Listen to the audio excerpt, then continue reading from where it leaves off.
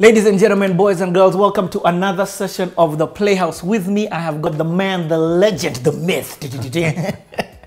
I've got a lead, I've got an incredible human being. This is going to be a conversation that you are thoroughly going to enjoy. I may not do justice to the intro, but I'm going to try my best. He is the senior pastor of Mavuno Church. For those of you who know Mavuno Church, I'm not just talking about one branch of the church. Mavuno Church has grown to over 20 churches currently and growing and growing. On top of that, he is the author of over six books. I'd say seven books. Uh-huh, uh-huh, Seven books, Pastor, am I right? seven books. And one of those books has been translated to so many different languages. Yeah. Uh, I'm talking about none other than Mizizi. We're going to talk all about this and you're going to hear about so much more. Uh, so, ladies and gentlemen, boys and girls, put your hands together for Pastor Muriithi Wanjau, aka Pastor M. Pastor M, I normally do my own sound effects. can tell. so, so, so bear with me. Yeah, yeah, yeah. Anyway, thank you so much. Budget, budget issues, I can tell. Umeanza eh? First and foremost, thank you so much for agreeing to be um, on this platform, on the Playhouse. Wow. Agreeing to share your story, Yeah. to just um, just have a candid, real, raw conversation. Uh, warning: on this platform, we hold nothing back. We just we keep it real, we keep It's it real. raw, Okay. and uh, because I know you, I will keep it even raw. Bring, bring it on. I bring it on. Eh? So let's jump straight into it. eh? Yeah. The first question that I normally like asking people on the Playhouse is just to take me way back to paint to paint a picture of your upbringing. Yeah. Yeah. Um, or were you born a pastor? yeah. Uh, I'm actually second born of four kids. Grew up in Langata, um, Moy Estate. Um, and uh, folks, dad worked for the government, mom worked for KCC, the milk company. And so, really working class uh, family. Uh, one of the first farm, I mean, Langata, Moy Estate was one of the first estates in Langata. So, all this stuff that you see in Langata nowadays, um, gay, all that was just forest. Nice. What year are we talking about by there? Uh, this, I was born 1970, so I'm turning 50 next year. And You're so- turning 50. You haven't yet turned 50 yet. No, no, no, Hey, no, no, no. Yeah, yeah, yeah. Um, so, uh, are you calling me old? No, no, I'm saying huge Okay, accomplishment. so, You've so, done a uh, lot. so grew up, yeah. So grew up there. Um, older sister and two brothers, and then uh, younger sister. So two and two. Um, grew up. I went to Langata West Primary School, which was uh, the neighborhood school, um, and was really a Langata kid. Went to Saint Barnabas Church, which is where my parents went, the Anglicans. Um, and uh, I mean, estate life those days was amazing. I mean, we lived next to a forest. Literally, next to the estate was a forest that went all the way till Bomas of Kenya. And so we grew up waking You are up. part of the park. Like for real, it was really the park. I mean, literally, those ones where the national park would release a warning a, leopard has, re- has escaped, so stay out of the forest kind of story. Eh? It was a proper forest, not like what you see today, Yeah. uh, which talks badly about what we've done to our forest today.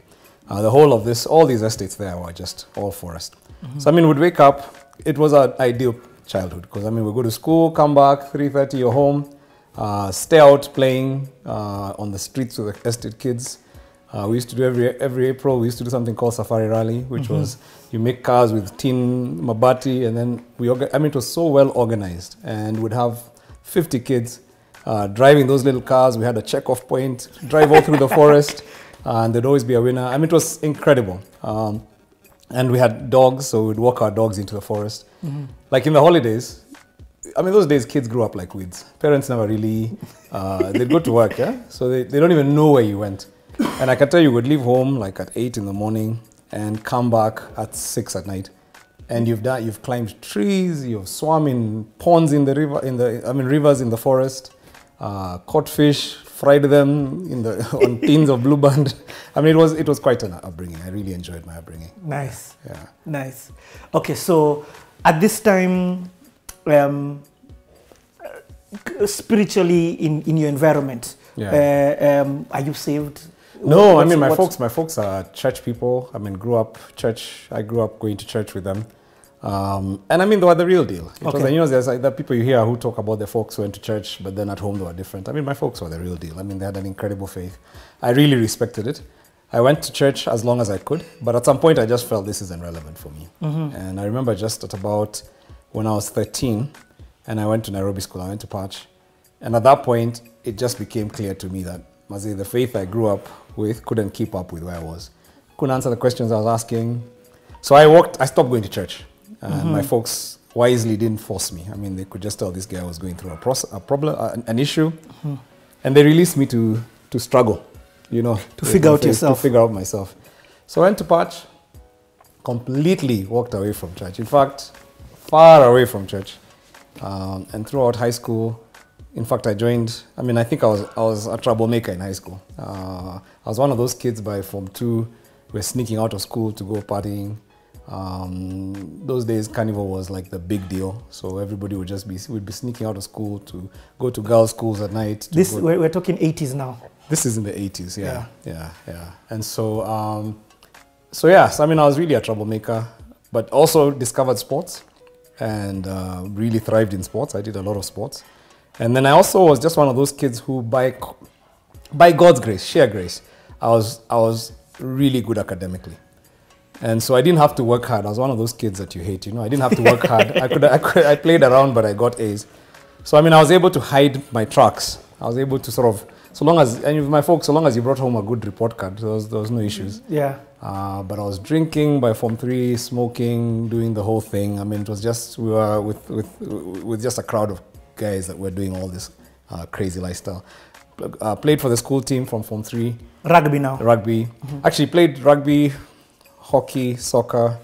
Um, like I said, I was good in sports, so I played in many school teams.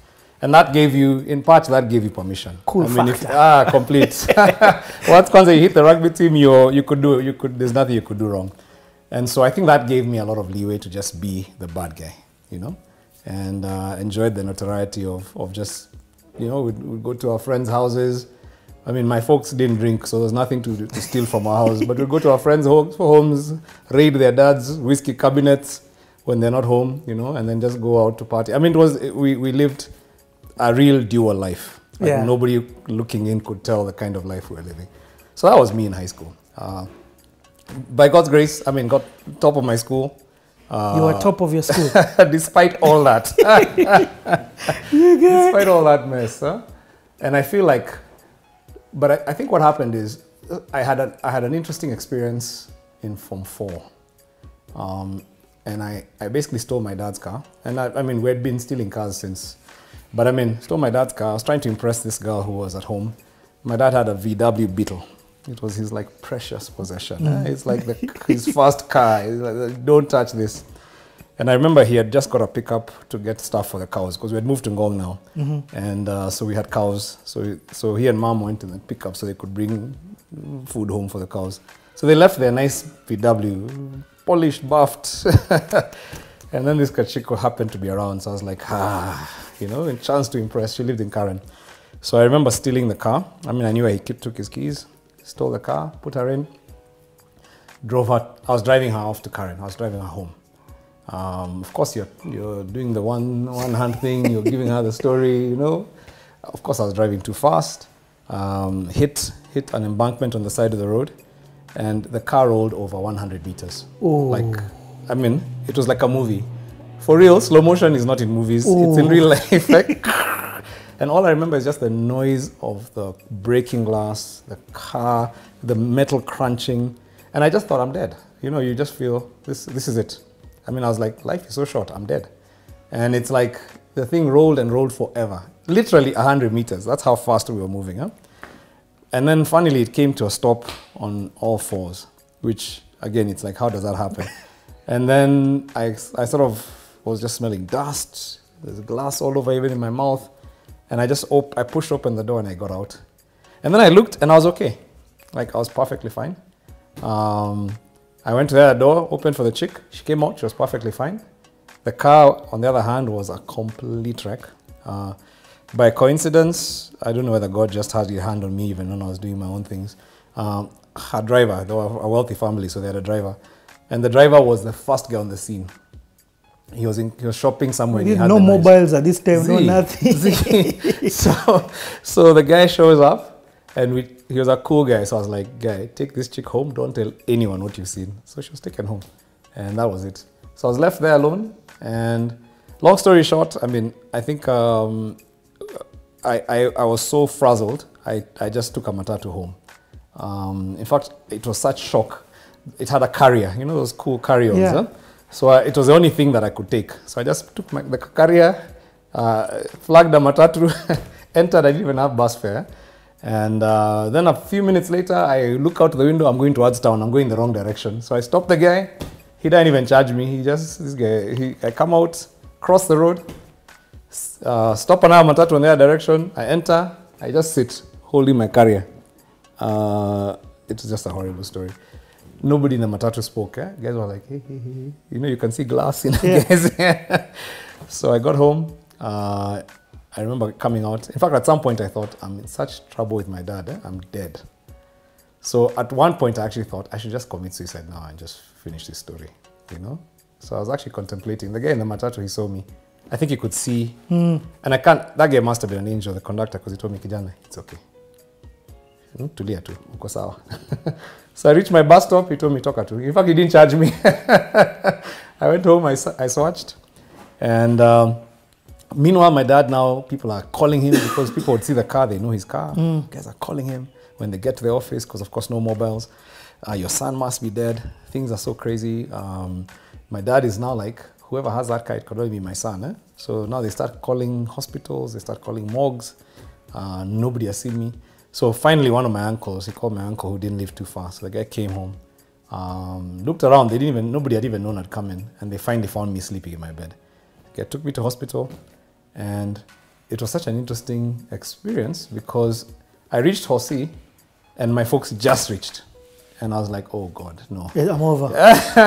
Fortunately, the doctor's door open, so I go in for checkup. The guy's checking me. I'm sure. I mean, I'm, I'm waiting for him to say there's massive internal hemorrhage and whatever, whatever. The guy says, ah, this kijana is fine. He can go home. I'm like, dude, no. I'm going to. I don't want to go home, man. I'll be back in a few hours. Yeah, So, yeah, exactly. so now you can imagine now the, the, the scene. Now here's a climax of this story. So it's a pickup. Dad, mom, me. now you can't even hide, man. You're squeezed in the front, eh? it's, a- it's not a seat for three guys. So I'm sitting at the window. I'm trying to be as far as I can from them. eh? And I'm just thinking, and it's quiet. You leave, you leave Hosi. You're just driving. No one's talking. I'm like, oh God, I have to break the silence. What do I say? What do I say? So finally, I come up with this speech in my head. I'm like, Dad, I'm so sorry. I've messed your car. Uh, I know it's precious to you. I promise you, when I get a job, I'll get you a car. That's what I could say. That's, that's the first thing that came out. I'll buy your car one day. I remember I'm just in Form 4 at that point. And my dad, I mean, I'll never forget what he said because he just looked at me and said, Dude, we thought you're dead, Bana. Uh, what's a car is? I mean, you're my son, you're alive. Forget the car. We'll get another car another day. I mean, I, it's not like he was richer. So for me, that was such a huge thing because he was like, You're alive, that's what matters. In fact, he said, I think I need to get you driving lessons. And that story died there, you know? Um, I think that was what started my journey back to God. Because I don't think I'd ever experienced forgiveness.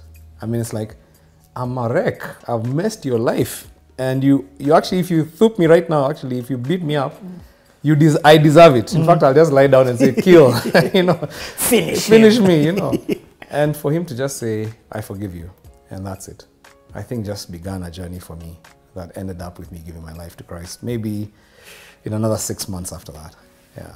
So, so it's a dramatic. It's a bit of a dramatic Yeah. story. I, I did end up buying him a car one day, like when I was much older. You did, eh? Yeah, like that. Remember that? yeah, yeah, yeah. it is. Uh, but yeah, I mean, like I said, my parents were the genuine thing, and I think that was part of the journey that now, that now led me back to start walking back towards God. So by the time you were receiving Christ, had you already finished Form 4? Mm-hmm, So it was in that gap period. So, so this this story happens at the beginning of Form 4 So I didn't immediately, Yeah. but it began sort of like an openness. huh? Yes. So after Form 4, I mean, I still continued with my lifestyle. I mean, I didn't stop, but Yeah. I mean, I think there was like a thing that had been planted. Um, I stopped drinking just by myself. I mean, I think I was, I remember one day coming from Ahanye and I was sitting in a bus. Um, I'd left my buddies there, they were too drunk to come back, so I was only getting the bus. I was holding a bottle of, of I think it was Campari. I was just, I was, I was just nursing like a bottle, like a brown thinking. I just looked at myself. I said, "This is wrong. I mean, what am I doing in Form Four like this? It's just wrong. I mean, I don't know why. All of a sudden, I looked at myself from the outside. I was like, "This is too pitiful." By the way, I left that bottle in the bus. Never drank again. Uh, nobody told me to stop drinking. It was just like I don't want that to be my lifestyle. But I remember my my mom uh, wanted me to go to a camp uh, after Form 4. You know those ones of this boy, how do, I, how do we help him? So she hooked me up with a Word of Life.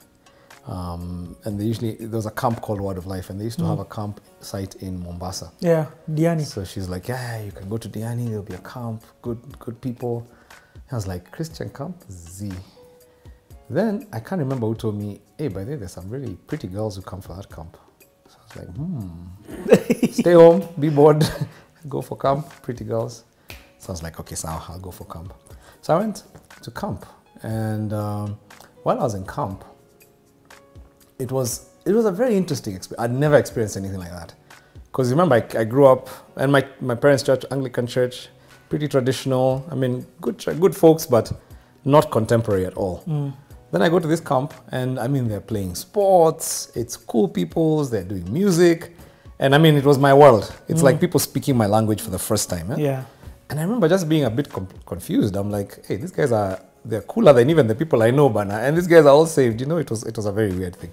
You know, people like Peter Dera. I mean, those are the guys now I met there. Those were the first time I met. Those guys became such good friends. Peter Goyo Dera. Some of some of those guys became such good friends after Yeah. that. So I remember just being amazed. I was like, wow. I mean, I didn't believe. I didn't know that you could actually be saved and be a fun person. Um, and then there was one guy who came for that camp. He was called Joe. Joe, he's one of those guys who, even if you're a bad guy in school, there are those guys who are now the devil. You know, like Joe was, like the, you know the dealer. Yes. You know, that guy who, who supplies. I mean, he was a he was a bad guy. Which is something tells me you're like that. Huh? I mean, this guy was a bad boy. Huh? I mean, like really bad boy. Huh? And even among those, you know, those guys where even bad guys go like, like you don't want to. That guy is, you don't even, Keep- you don't want him near your Joe. sister. eh? I mean, Joe was just that kind of guy. So the guy came for camp. So I remember as, and this is the weird thing about just be, how hypocritical life is. Like I was looking at him and thinking, what's this guy doing in camp? this is a Christian camp. This guy has no business. I mean, I'm the one judging him, huh? uh, which is the weirdest thing. So I remember just thinking, hey, these guys have no idea who they just let in. This is like a wolf in a in a chicken pen. Huh? He's just here for girls, and that's now that was me. But I'm like, this guy is just here for girls.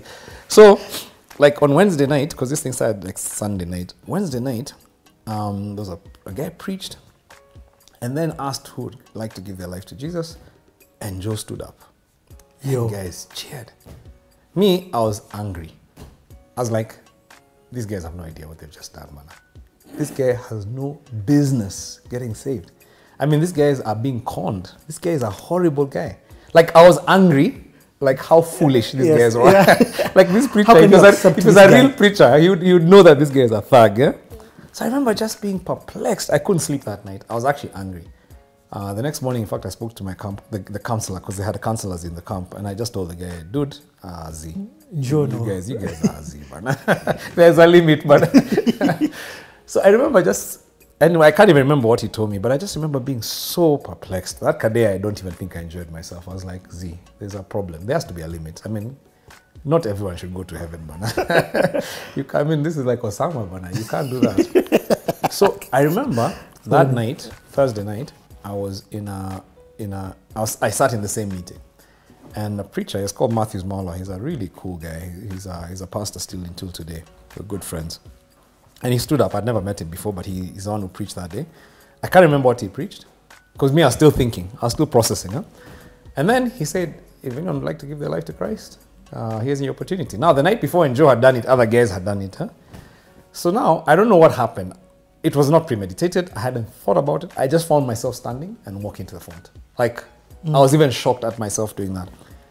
And of course, as I'm walking, I'm thinking, guys are following. But that day, I'm the only guy. like, I stood in front, like everybody could see. It was such a public thing. I remember even, I think I cried. It was just like weird. Huh? But I remember at that point just feeling, okay, this is it. Uh, there's no turning back from here. It's too public. Everybody knows. And one thing about me is like, if I'm in, I'm in. So I was like, done. I'm completely into this thing. So I decided I'm going to give my life to Jesus under new management. Um, my buddies, uh, meanwhile, because we had finished high school, so it was like we had planned like a series of ha- hanyeza. So me, I just told them, pause a bit, going to coast, I'll be back. So of course now I'm just thinking, okay, that, that plan isn't going to work. By then nobody's telling me these things. I just know it's not going to work. I I was dating uh, Kagal, that same girl of the car. I was like, uh, now this chick and the things we do can't work. so this story has to finish quickly. So as soon as I got back to Nairobi, I was like, I'm gonna. So I called my buddies, guys, me, I'm saved. Um, I- I'll just put it out there, so guys already know it's new terms huh, of engagement. And I remember my guys laughed. Were like, ah, give yourself a few weeks. This is brainwashing stuff, you know. So they're like, three days, you will be back. of course, three days turned into three weeks. Three years, yeah. Exactly. Now it's maybe 30 years now. And um, but what was interesting when I went to meet, to meet this girl, because I was like, it's a breakup. So I called her, had a date. Uh, I mean, that day was just very weird because I prayed. I was like, God, I don't know how to break up. You know, this is wrong. I mean, I even feel bad doing it. huh? But I felt in my, like, I just knew. As a very new Christian, nobody told me, like, this relationship can't, it's not going to help you in your faith. This is just after you've come back from Costo. Yeah, straight after Costo. Like nobody even told me until now you're a Christian, you have to do this. Yeah. It's like God instantly just began to tell me things. And I was like, I know I can't do this. If I want to continue with this relationship I began, there's some things in my life that just have to stop. And it wasn't even so much I want to stop them, it's like I know they have to stop. So I remember calling the girl, we sat down. So I told her, I've got something to tell you. Um, and she told me, I also have something to tell you. So I was like, oh, very interesting. Okay, you go first. Because I knew mine was going to be terminal. so, so she's like, uh, now, on the, on the time as you're away in camp, eh, went for a meeting eh, and I gave my life to Christ. So Ah, yeah, yeah, yeah. this relationship of ours has to end. I mean, that's she came, she was coming to tell me that. So I was like, uh, now you won't believe what I'm about to say. and for sure, she didn't believe. She thought I was making it up. eh? Like, I like, like the next day, you got saved on Wednesday. The next day, I got saved. So I mean, it was just a weird. But I think for me, that was my first miracle. Yeah. That's the first time I was like, hey, okay, God exists. You know, God actually does things that are shocking that you can't explain. Because that was a miracle. I mean, how Mm. Do you I mean, how like, do you yeah. two How do you crazy people? and by the way, that mama she ended up becoming uh, she ended up becoming a church. She she she works for a church somewhere. Hmm. like long story. I mean, we're not even in contact anymore. Hmm. But I know that she actually ended, ended up going into the church. So it was very weird. Two very wild, very unconnected people. I mean, very very crazy people. And then in two very unrelated. She's in Nairobi. I'm in Mombasa. That was my first experience of many Hmm. that began to show me that actually God exists and He's real. Okay, let me ask you. At this time, um, you obviously pastor was not in your radar of what you wanted to be. No, so not at all. where where were you leaning, or did or, or you didn't know in terms of career, in terms of next stage? So my plan was to be rich. that was my career plan.